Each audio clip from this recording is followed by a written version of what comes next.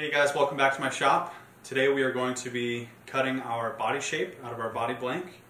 Uh, so before we begin, I'm going to go through all the tools and everything we're going to need for this process. Uh, we've got our body template, we've got our body blank, we've got a straight edge to create the center line in our body blank, pencil to do that with, we've got a Sharpie that we're going to use to trace our template onto our body blank. I've got my absolute favorite favorite stuff in the world. This is called Spectape, and it's a double stick tape. It's the best I've ever found. Um, I'll put a link in the description below to where you can buy this. Safety glasses, um, ear protection. We're going to use our bandsaw with a pretty narrow blade to cut it out um, so that we can get those nice uh, tight curves around our body, body shape. Um, if you have a, a blade with a pretty wide blade like like this guy here, it's not going to want to take curves very well, um, and you'll have to do a bunch of relief cuts. Uh, so we want a, a, pretty narrow blade. You're also going to need a, a router, uh, preferably a router table, um, because if you just have just a standard hand router, there's a chance that it could tip a little bit. And on a router table, that completely eliminates that, that risk. So um, I'm going to draw the center line here, transfer the shape out with a Sharpie onto our blank, and then we're going to head over to the, the bandsaw. So here we go.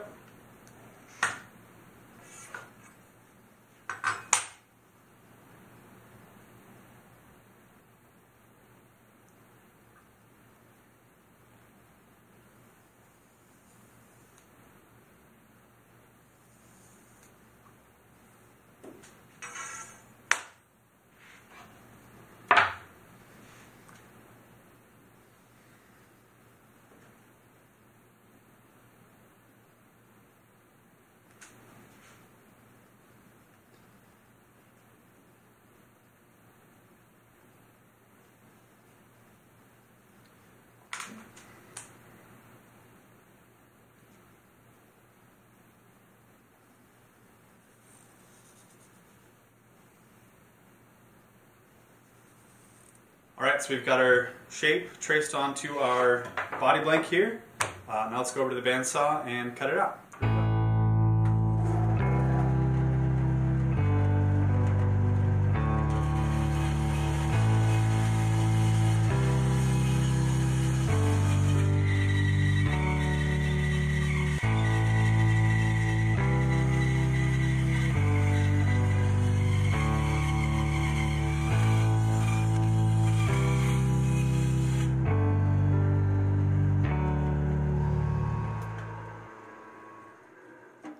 Right, so we've got our shape cut out of our body blank. Uh, now we're going to double stick tape our template to this cutout portion, and then we're going to take it to our router table. Um, we've got a we've got a router bit with a bearing on it. Uh, this is called a top bearing or like a pattern bit, um, usually because it's put in a normal router and it's run along this way. So the bearing's going to ride along our template um, and it's going to transfer that, that shape onto our body blank. Once that first pass is done, that'll be enough. We can take the template off so that we can get the full depth of our body. So, let's tape this guy on and then take it to the router table and finish it up. So I love this tape because it's super easy to tear, as you can, can see. Um, it's also super easy to clean up. There's it leaves behind zero residue, um, and it it doesn't have any like gumminess to it, so that the template can't shift around at all. Um, and it's really really strong tape too. So I'm gonna put couple of pieces down. I want them on kind of the four corners of the body shape. And then a couple of other pieces here and there. Just kind of ensure that the template's not going to go anywhere. This tape is also pressure sensitive.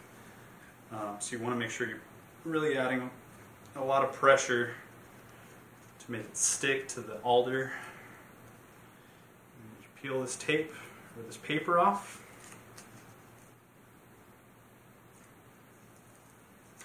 Go.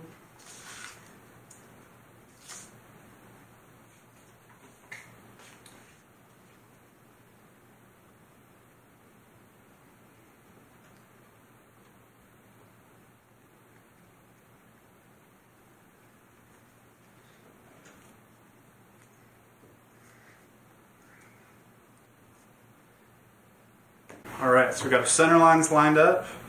Um, got this guy on there, I'm happy with that. A couple of things to think about on the router table is where you're gonna start and stop. I like to start and stop on the end grain, um, kind of back here. A couple of times I would I had started kind of right here on the this curve of the lower bout. And the issue with doing that is all grain is is a bunch of straws. Um, and when they're really short pieces, they're very weak. Um, so when I'd start here and I'd come back around, that remaining piece that I'd cut off was such short pieces of grain that sometimes it would, the router bit would catch it and tear it off. So I'd have a big tear out and I'd have to alter my shape to either get rid of it or scrap the piece altogether. Um, so we want to start and come back around and finish on the end grain because it's going to be a lot stronger there, a lot less chance of tear out. So we're going to go to the router table and route this baby out. All right, so we are at the router table now. Um, you can use a typical router like this guy. Um, the only risk is when you are cutting out the shape like this, there is a chance that this could tip and will cut into the side of your body blank, which you really don't want. So I'm not going to use that. I'm to use the router table, and this guy has the bearing on the bottom. So I'm to have my template side down. I'm to start on the end grain. Um, I just want just a little bit of the bearing writing on the template. I want to cut as little as possible uh, this, these first few passes. Um, and then I'll switch to a, a longer bit um, so that I can cut all the way through the full depth of this. So I'm to put on my safety equipment and get started.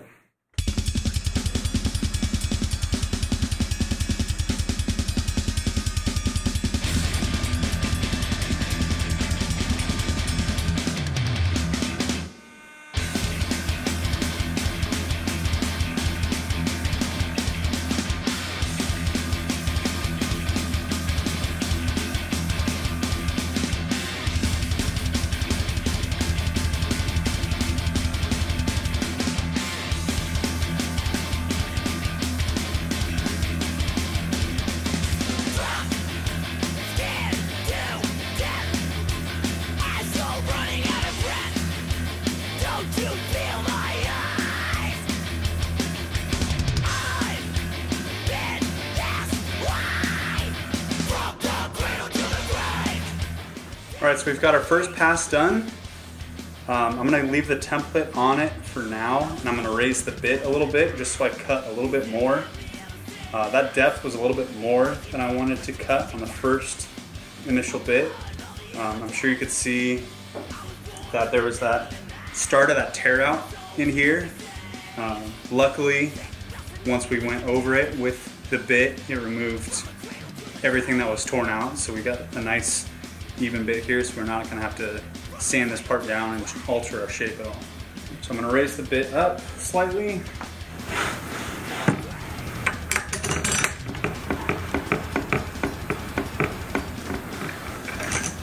All right, so now we're only gonna be cutting about a quarter of an inch more uh, than we just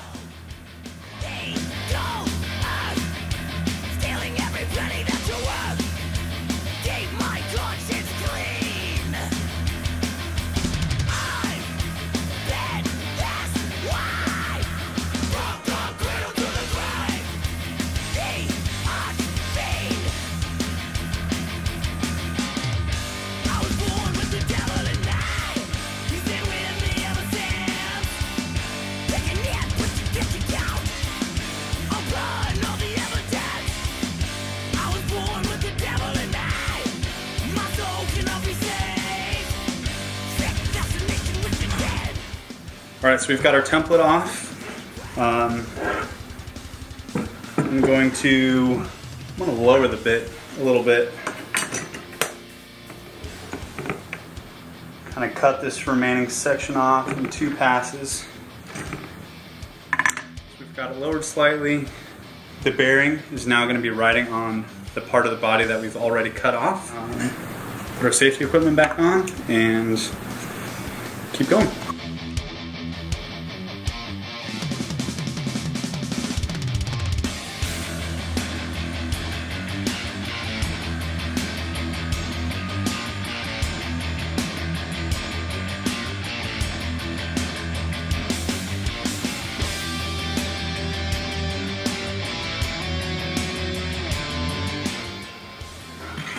All right, so now we're gonna see, remove the rest of this without having to switch the bit.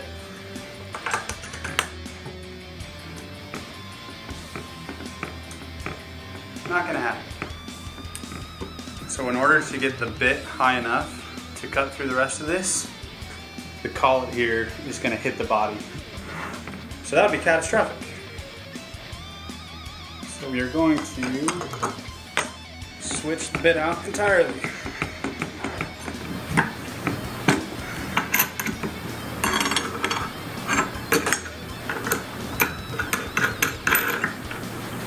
Alright, so we've got our larger bit.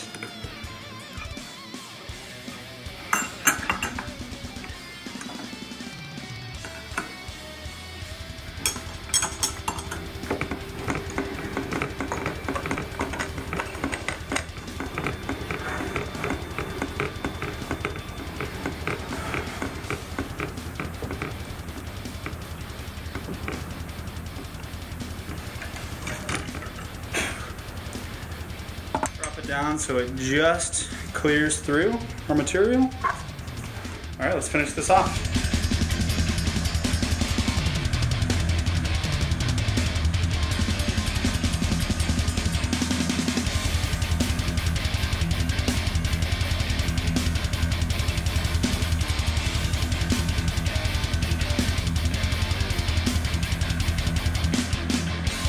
All right, so we got our template traced onto our body. We cut it out with our bandsaw, uh, put the template back on it, and use that to route out the shape of our body. Um, so be sure to start on the end grain, get past those dangerous parts uh, where the grain is really short. Um, I'm sure you guys saw that one piece tear out. Um, luckily it didn't go so deep that once the, the router bit went back over that, that section, he was able to clean up all that. Uh, so we're not going to have to modify our shape at all, so that's good. While it's in this stage, um, because we sent it through our thickness sander, there's going to be some um, sanding marks in the top and the back marks. I'm going to take the orbital sander with 220 and try to get rid of all those marks, those sanding marks now, so that when we do our neck pocket and our humbucker cavities and our Floyd Rose cavity, all that. It's going to be much easier to run the orbital sander now, so it won't be hitting any of those edges and tearing up our sandpaper. So I'm going to hit the top and the back with the orbital sander, get those sanding marks out.